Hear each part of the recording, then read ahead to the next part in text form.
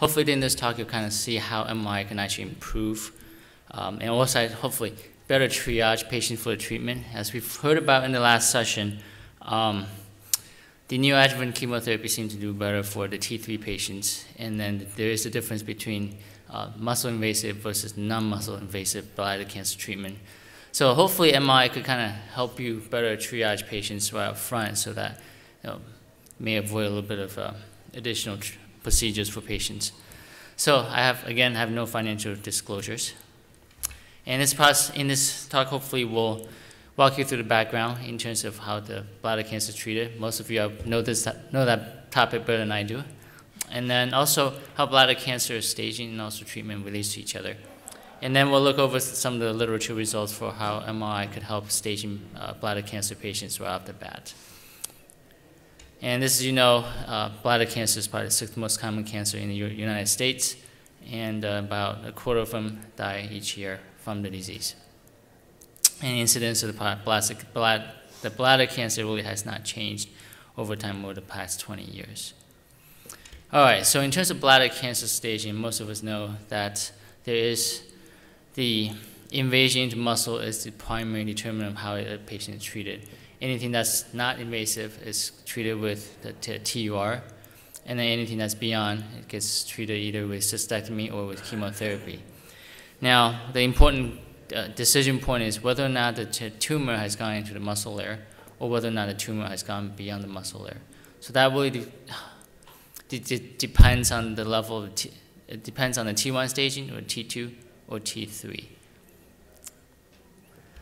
And as we've kind of talked through just in the last few sessions, um, the bladder cancer treatment for the non-invasive uh, muscle, non-muscle invasive bladder cancer the treatment is really transurethral resection bladder tumor. Um, any residual is treated with intravesical BCG, and this really is only applicable for diseases that are up to T1 stage.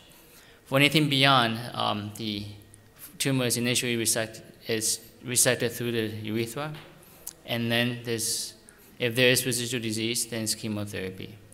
Uh, this really for this really is for uh, patients with disease from T2 and T3 stages. Now, most of us have followed patients uh, with CTs in terms of follow-ups. Um, in terms of detecting cancer for, with CT scan, we do, the sensitivity is not too bad, it's about 85% sensitivity, 94% specificity for detecting bladder cancer.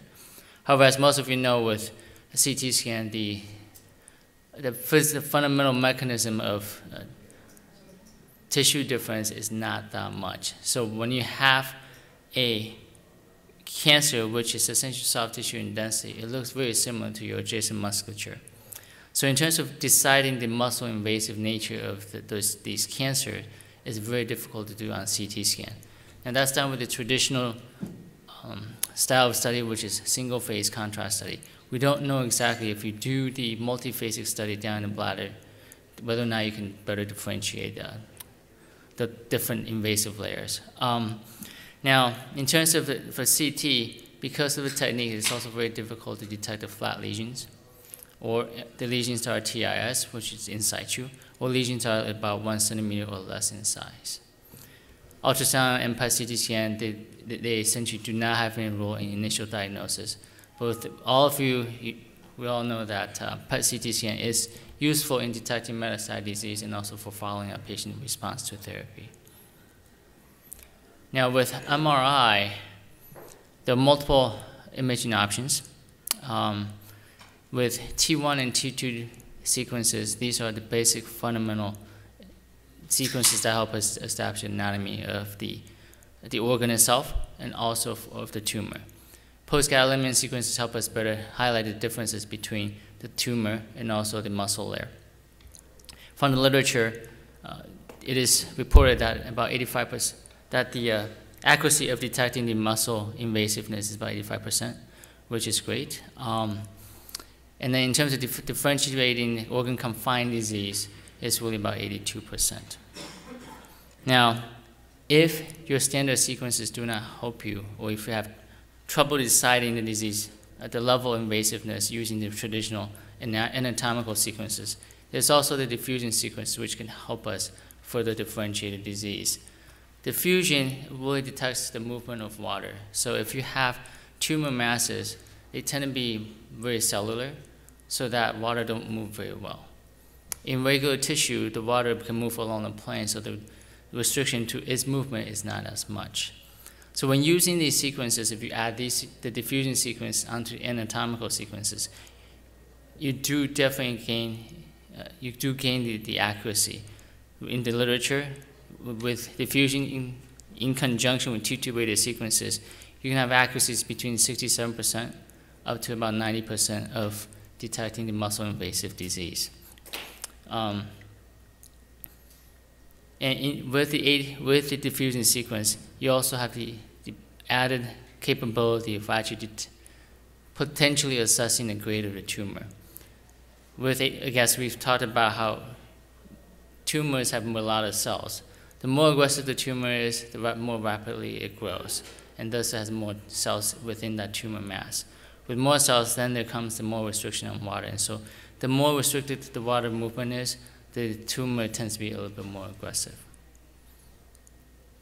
So looking at a few examples that we have here, um, on your upper left-hand corner, you do have the CT case where some contrast is in the bladder. You can kind of, you can vaguely make out some of the tumors here. Maybe something here, but you're not quite sure.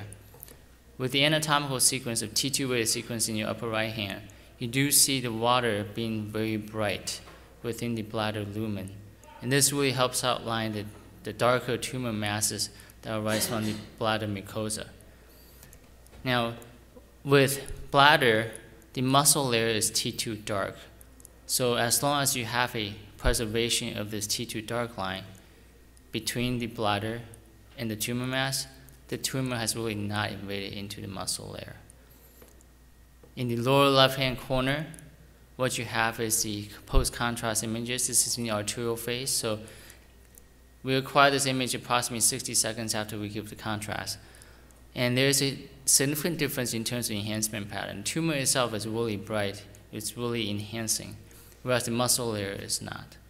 We wait about another 30 seconds, what you get is the reversal of enhancement pattern, where the, the muscle layer enhances brightly and the tumor is slightly less so.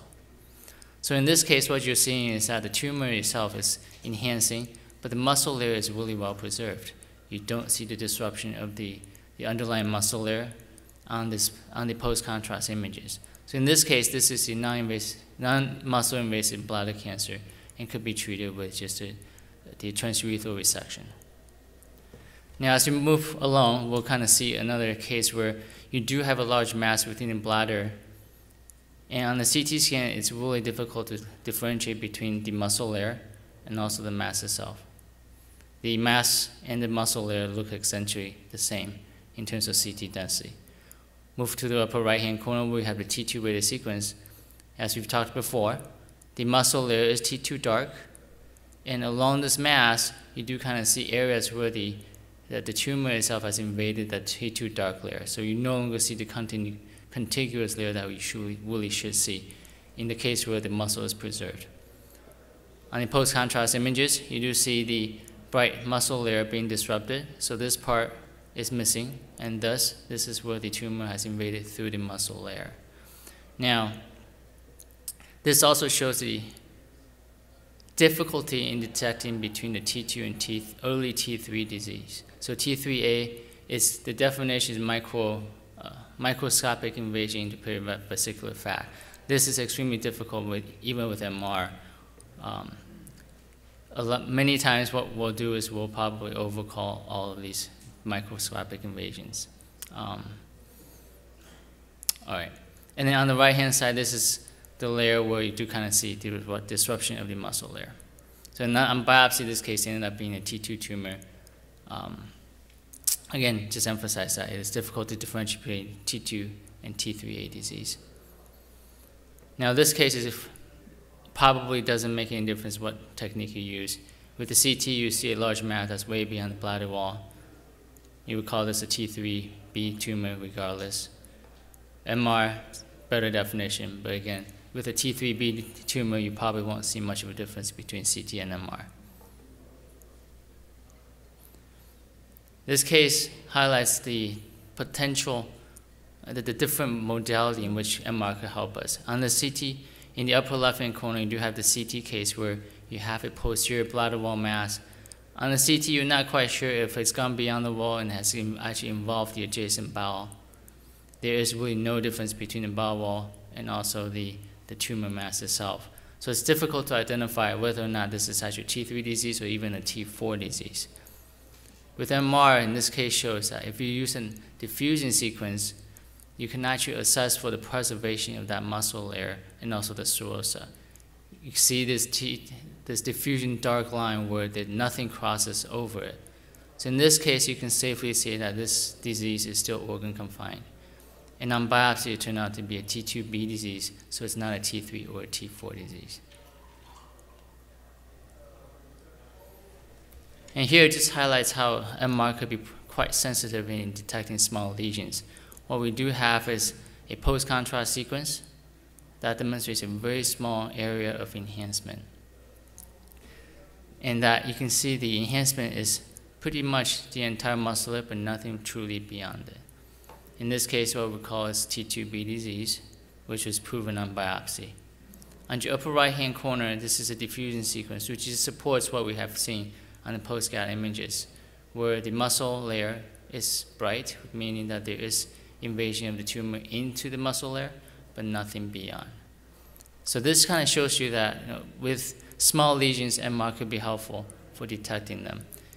Now, this isn't about a follow-up case, but I can certainly, you know, if we project it out, we can certainly say that if we're looking at recurrent diseases, small the small disease could also be detected with MR, probably with the greatest sensitivity. All right, so with the MRIs, what do we can, what we do have, we have a variety of sequences at our disposal. The T2 weighted sequence and also post-element sequences, they are primarily for defining the anatomy and also for assessing the uh, muscle invasiveness of the cancer. Diffusion sequences are also available. It is more of a supporting or adjunct type of sequence it can help us problem solve uh, cases that we cannot clearly identify on T2 and post-element sequences. As we all know, one caveat is MRI is very sensitive to motion. If you have a patient that simply cannot hold still, I would probably still say CT is a better technique because the MRI images that you get will essentially be non-diagnostic for patients that move.